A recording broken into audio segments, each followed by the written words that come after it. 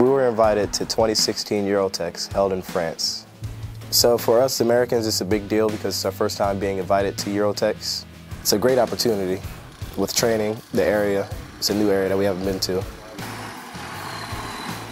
I've been a combat engineer for four and a half years, and this is my third time working with other armies. And every time I do it, it's exciting.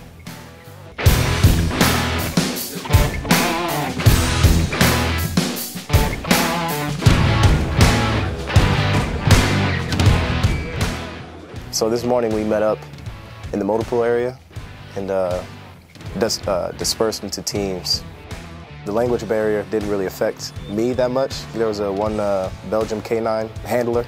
He, uh, he spoke a little, little bit of English, so he was able to translate for most of the group. The morning started off with the EST trainer. We got to do a rappel down a wall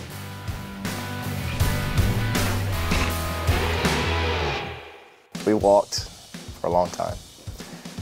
A single rope bridge across two trees, I think about at least 50 feet. And then after that, we did the tire carry, which was pretty fun. The truck pull. The truck pull was, was hard and it was motivating because you get to hear the other people's chants and you don't know what they're saying, but once they pull, then you know that's the, the command to pull. A litter carry, uh, improvised litter carry, actually, and an archery range, which I've never done before. So the three words I would use to describe today's events were uh, rugged, exciting, and motivating. I know I was motivated because I want to learn another language now so I can, you know, talk to more people.